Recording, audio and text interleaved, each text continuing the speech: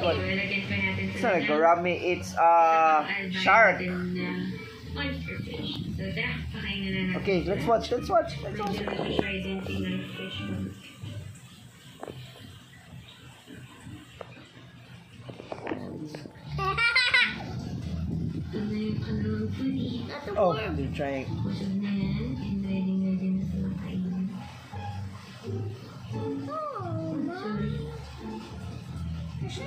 eating that.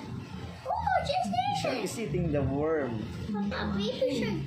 They like Ano silang kain? worm. And our daddy shark don't like eat worm. Yeah. Our shark doesn't, don't, Doesn't like. Tuloy pa ako. Bagong bilhin natin Night Fish. Or Timor, si Fish knife One. Medyo shy type kasi siya eh. Kung avid subscriber namin kayo, Yep. meron din kami dating Fish. Yun, na-train namin yan na maging active. Ito kasi medyo takot eh. So, parang to. Fiesta sa kanya eh. Oh. Dagat. So, pagpatay lang yung ilaw, saka lang kakain to si Night Fish na to, si Fish Boy. What? Pagpatay ilaw or na din lang din siya. Or the vacuum. Like, like what? Like, daddy. like spaghetti. Ito. I'm waiting for the gourami fish. Yeah. Oh, the rabbit is so loud.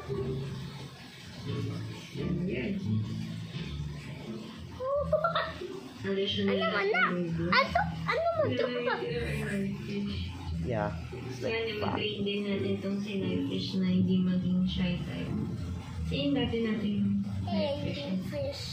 hindi naman ganyan ka shy. Pero bulog tayo. Yan.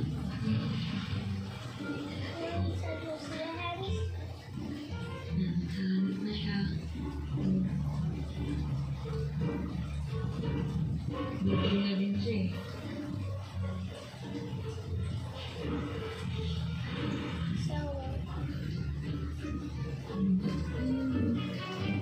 So, favorite mo yan? Favorite niya yung Superman. Masaya-masaya siya kasi Maya siyang kaagos. Ang laki na ng tiyan niya. Halos siya ng umugos. And ito nga pala guys, si Nightfish. The knife fish didn't eat the worm. Kung breeder din kayo ng mga gulp, ng mga chopsum, or mga It's kalyang, the car. I will just- favorite yun ng mga Nightfish. Or meron din yung It's night time.